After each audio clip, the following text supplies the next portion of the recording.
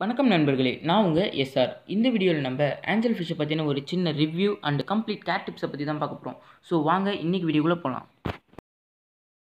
உண்மையாகவே சொல்லப்போனால் மற்ற ஃபிஷ்ஷை கம்பேர் பண்ணும்போது ஆஞ்சல் ஃபிஷ்ஷுக்கு ஒரு தனி ஃபியூச்சர்ஸ் இருக்குது நண்பர்களே.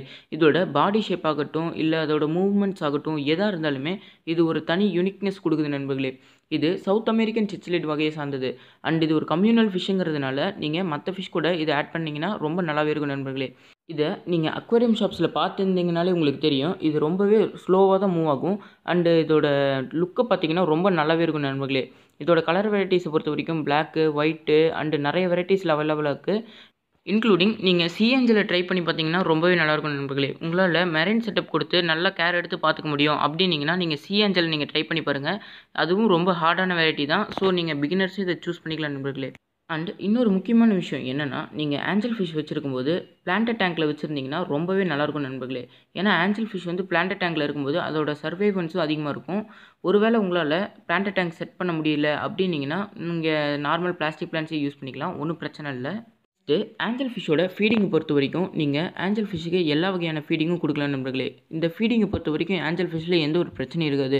பட் நீங்கள் ஃபஸ்ட்டு பிகினராக இருக்கும்போது அதாவது நீங்கள் ஃபஸ்ட்டு டைம் நீங்கள் ஆஞ்சல் ஃபிஷ்ஷை வாங்கிட்டு வரும்போது நீங்கள் கொஞ்சம் கேர் எடுத்து தான் பார்த்துக்கணும். அது வந்து சாப்பிடாமல் இருக்கலாம்.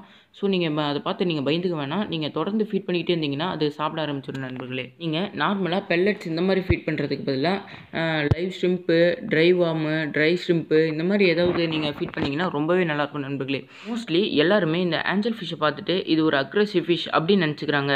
காரணம் என்னென்னா இது எல்லாருமே ஹாஸ்பிட்டல்ஸு ஆஃபீஸ் இந்த மாதிரி இடத்துல தான் பார்த்துருப்பீங்க. அந்த மாதிரி இடத்துல வச்சுருக்கும்போது ரொம்ப கம்யூனலாக வச்சுருப்பாங்க.